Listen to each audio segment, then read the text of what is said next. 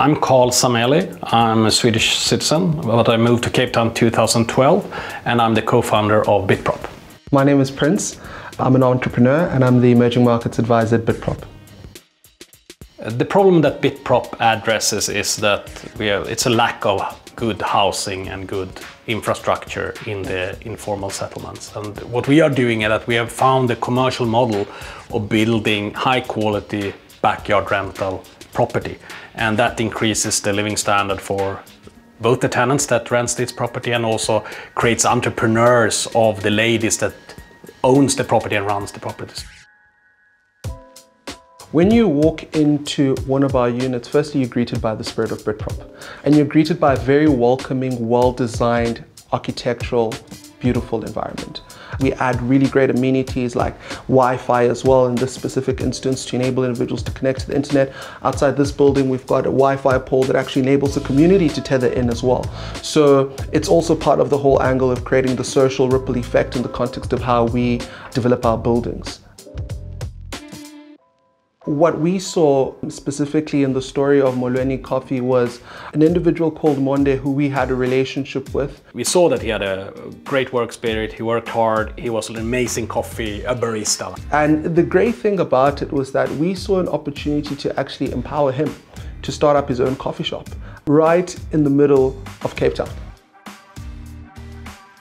Mostly when you start the business, you don't think of it from the legal angle. You think on the value creation that you want to do. When you look at it a bit closer, you realize it's a legal need in every angle of the business. Like we need legal contracts, help the landlord to create legal contracts with the tenants.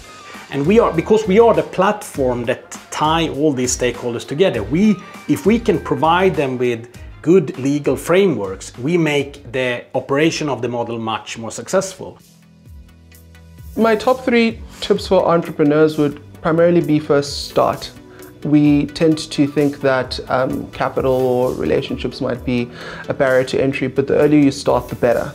Um, then the second thing is that entrepreneurship is not a joke, so it's going to require a lot of persistence, and it's a critical thing to keep in mind. When the going gets tough, even when the chips are down, you've got to be persistent and you've got to have significant amount of passion to keep you going.